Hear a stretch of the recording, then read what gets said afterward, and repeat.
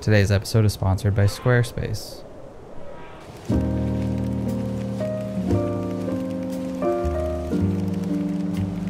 Alright, what's up? You're either very excited for this video or it's just whatever to you. Either way, I don't really give a shit. Without a doubt, in my exceptionally small mind, the Olympus XA has been requested more than any other camera to review on this channel. I'm serious. It's been DM'd to me so much that the FBI guy rifling through my inbox is probably ready to kill himself. I mean, I get it. It's a unique camera. There isn't a lot like it. So, like a prostate exam, let's just get this over with with a smile on our faces. Here it is, the Olympus XA that I borrowed from my friend Caleb, who, as it turns out, is borrowing it from someone else. And I'm sure the trash can will soon be borrowing it from me. It's not that bad. Uh, for starters, it shoots full frame 35 millimeter film, not half frame. Let's see how well that works out for Pentax. I mean, Olympus. Boom, exterior shitty desert location, raining or whatever. Well, here we are. We've made it to uh, Makeout Point. After struggling to find the button to open the camera because us guys can never find the button, I decided to load it up with some FPP X2, which is basically the same thing as Cinestill BWXX. I would say on a scale of 1 to like 420, it's about a 400 on the difficulty scale of loading. But then again, I'm an American and have basically Twinkies for fingers, so loading film in a very confined space is basically equivalent to defusing a bomb. But you already know, Daddy eventually got the job done and uh, it was time to shoot.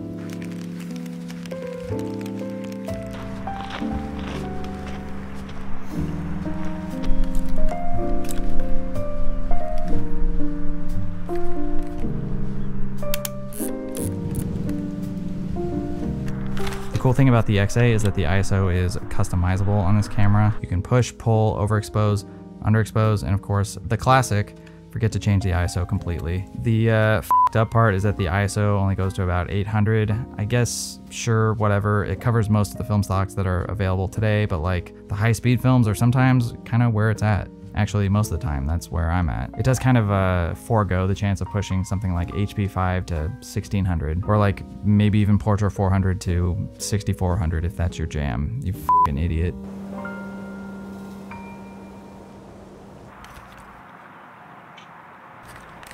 Sorry that my uh, band-aid fingers front and center. Believe me, it looks a lot worse underneath the band-aid.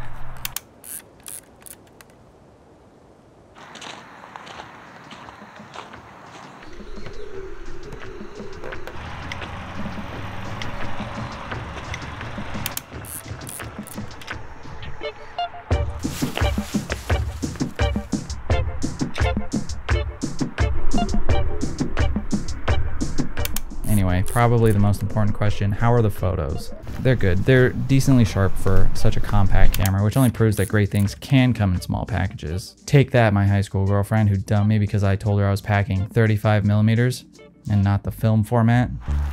Wonder what this was.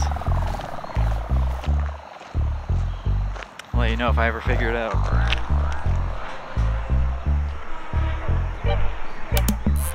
I guess if I were to lodge a complaint about this camera, it would be that I hate the aperture design on this. It's diamond shaped. I mean, I guess they had to make some design compromises, but it does mean that you will get diamond shaped bokeh. I never really shoot shallow or wide open, so this complaint is kind of baseless, but doesn't mean I don't hate it anyway.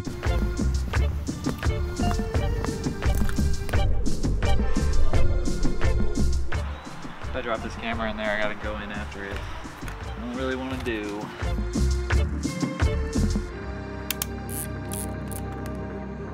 Okay, so this camera is automatic exposure. Sort of. It's really aperture priority, which means you pre-select the aperture you'd like to use here on the side, and then the camera itself chooses a shutter speed for you based on the available light. So that's actually pretty cool, and of course the, uh, the viewfinder threatens you with what shutter speed it's planning on using, so you can open up or close down the aperture to increase or decrease the shutter speed if you'd like. It's uh, right up my alley. Good job, Olympus. Always able to find the toilets.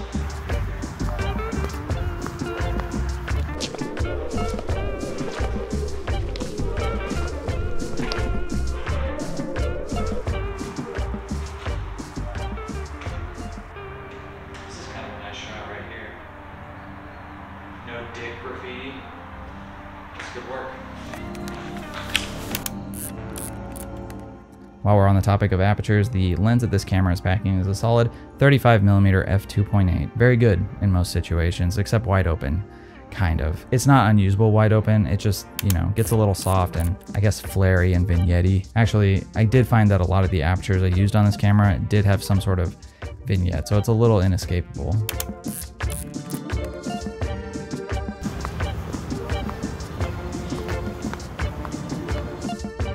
Anyway, after finally finding God just down the road, but he was on his lunch break, we popped out and shot a little bit as it began to rain on us. Is the Olympus XA waterproof? Who knows? And who cares? It's not my camera, but probably not, no.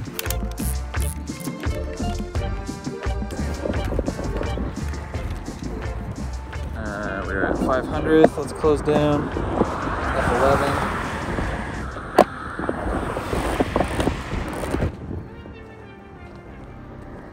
I'd say the one thing that everybody talks about on this camera is its size. It is very small. Like my Peen, honestly, ergonomically, this camera might be too small. Sure, it'll easily fit into your pocket, but at the end of the day, I'm a I'm a big guy. I eat a lot. I'm American after all, and this camera isn't always the easiest to use in my big ass cholesterol hands. Perhaps I'll get used to it over time, or I don't know. Perhaps they could have made a slightly bigger version for Americans. Frankly, my dog takes bigger and more impressive craps than this. That's the freaking shot. All right, here we go. Now we're in business. Where are we at? One 125th. Was this shot the business? No, it sucks. To be honest, I would have loved to shoot this with an orange filter to neutralize and darken the clouds a bit. That's kind of one of the downsides of this camera, at least for me. You can't really use filters with it, unless you're this cowboy.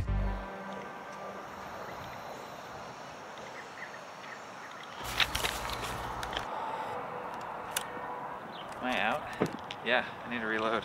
After the uh, X2 was out, I put in some Cinestill 800T that must have been manufactured sometime around the Great Depression Dust Bowl era because goddamn, I must have spent 800 hours painting all that dust out. Whatever though, at least I could shoot the roll at 400 in the camera by lying to it about ISO, which is kind of a rare feature on compact cameras.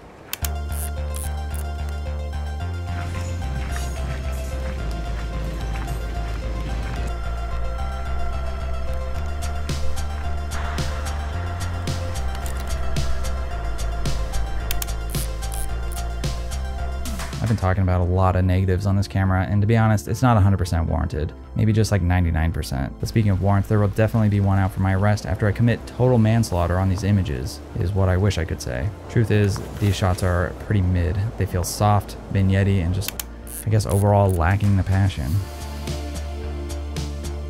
But let's talk about the positives, and there is one huge one. This tiny little camera is a rangefinder. That's right, it's not an autofocus camera, it's manual. You gotta confirm the focus yourself by rubbing and tugging the knob, something that you're probably familiar with. The rangefinder in the viewfinder is, it's okay, it's decent. It's not the brightest and it can be almost kind of invisible at times. Get that focus right. I can find it. In some cases, I have found that I have to uh, move the rangefinder around a little bit sometimes to see the, um, you know, the overlaid ghost image. Additionally, for some totally bad insane reason, the XA2 and XA3, the follow-up versions of this camera, the XA, they removed the rangefinder and instead decided to rely on scale focusing. We'll see how well that works out for you, Pentax. I mean, Olympus. Still raining.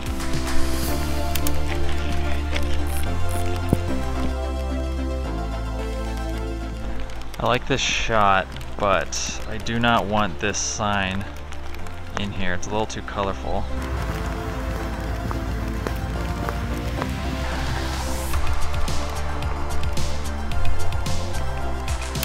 One of the things that I'm really growing to dislike about automatic point shoots is that sometimes for absolutely no reason at all other than like aliens, solar flares, telepathic Bigfoot, who the knows. A lot of autofocus cameras will just, uh, they'll just miss focus and there's really no way to confirm in the moment. With a camera like this that has built-in focus confirmation through a rangefinder, you'll be able to rest a little bit easier knowing it was you who f***ed up the focus all along and not the accursed machine. Anyway, this sign was really cool and this shot is honestly, it's pretty good. Sure, I had to stand in the middle of the street and get honked at by drivers who either wanted to fight me or f me, but it was worth it. Ooh, it is cold out here on the dusty range. Anyway, with nightfall approaching and us being smack dab in the middle of Class A narcotics country. Got the hell out of there and landed ourselves a lover's suite in Barstow for the night, which I recently found out was one of the most dangerous cities in America.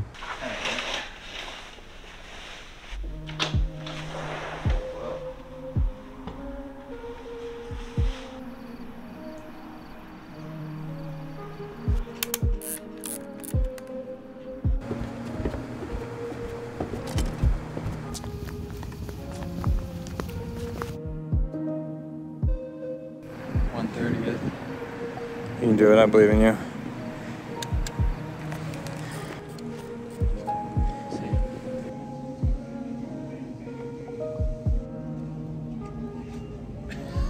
Got my food, but uh, can't eat it yet because Caleb hasn't got his.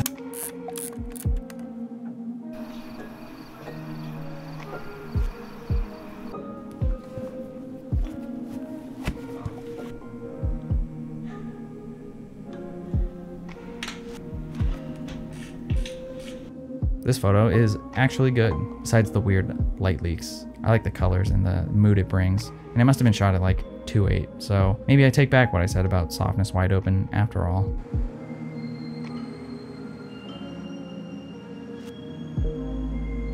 The next day was another sunny day in paradise, so we took the opportunity to check out some of the exotic locale. Here we go, making uh, something out of nothing. Something out of nothing.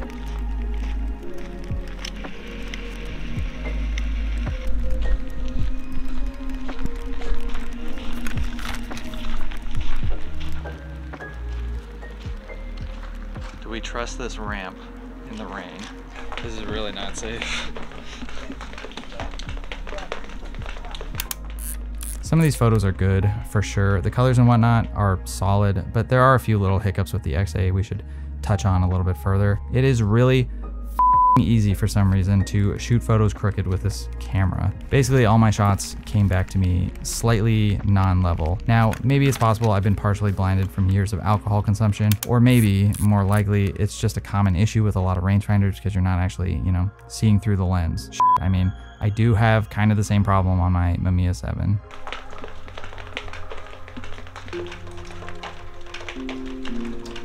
Please don't break. Please don't break. Please don't break. Inside? This shutter button is very sensitive. Furthermore, the uh, the shutter button on this thing is so goddamn sensitive. I mean, what is it, my nipples or something? I'm not sure if it's every model or just the one I was using, but I ended up shooting at least like six photos accidentally between rolls. I will say the nice thing about this camera is that as soon as you open the clamshell here, the camera's like basically ready to go. It's it's metering. You don't need to half press the uh, the shutter button or anything. However, I have found that simply resting your finger on the shutter temporarily is enough to upset the damn thing and cause it to fire sometimes.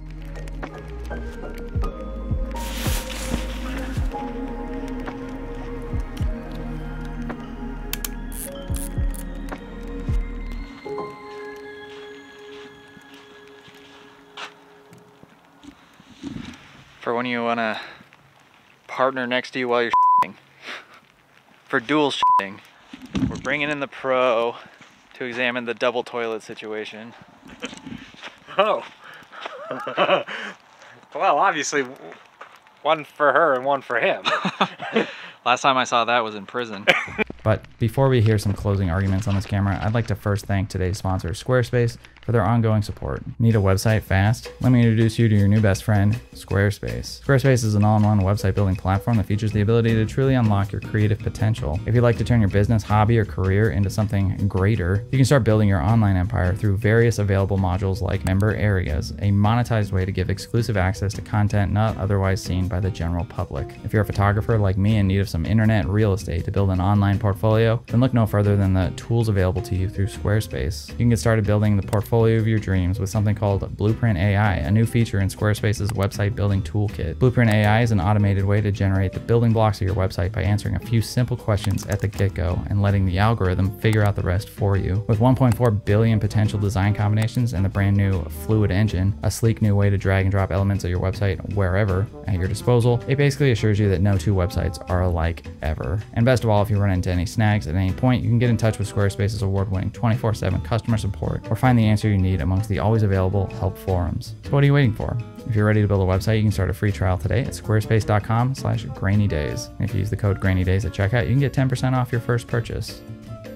So at the end of the day, I think it's pretty obvious that this is not the camera for me. And if it's not pretty obvious to you, you should learn how to read the room. But while it may not be the camera for me, it could be the camera for you. Let's face it, it is an engineering anomaly that the technicians at Olympus were able to cram this many awesome features into a full frame camera this compact. Seriously, bravo to them. They clearly wanted to make something that changed the game and Honestly, I think they did, which uh, more or less explains the cult-like status of this machine, if not also for the fact that you can get one of these yourself for less than 200 monies. If you want a small camera for light, low-key, non-intrusive, semi-manual photography, then I can see this camera being for you.